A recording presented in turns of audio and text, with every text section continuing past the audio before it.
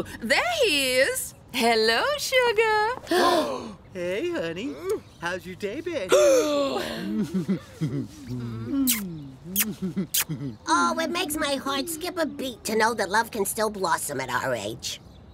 Wait, that's two beats. Three! Somebody do something! Oh, oh yeah, there it is. I can't believe it. Dad always said Mom was out of his league, but I never thought he'd want to get back down into his own league. What's that? The bombshell that just got dropped on us. Huh. Always thought that was a metaphor.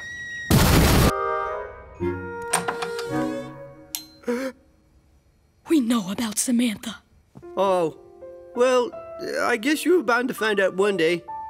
How do you feel about it? Oh, just great! How do you think Mom would feel about it? Well, she's not around in the day. I've got to find some way of keeping myself entertained. Entertained?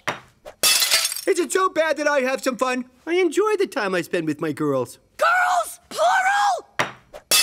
What difference does it make if it's more than one? You maggot. How many? Three at the moment, but you know, the more the merrier. I think I'm gonna be sick. Our dad has a secret double life. Darwin, smash another plate. Hold on.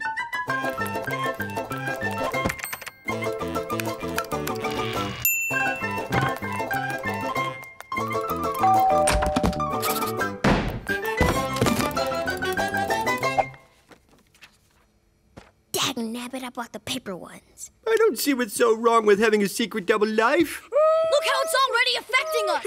Yeah, well, only because it's not secret anymore. So I was technically correct. Nothing wrong with having a secret double life. Dad, this whole thing is based on lies. And that's not right. I understand. I've deceived the people I love. I'm gonna go end it with the other girls. Then I'll take all of Samantha's stuff down to the junkyard and burn it in a big bonfire.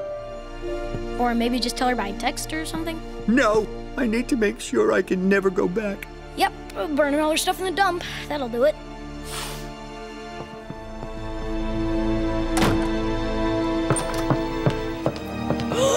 I'm sure gonna miss this pretty face. But at least I'm bowing out with grace. Darn heels.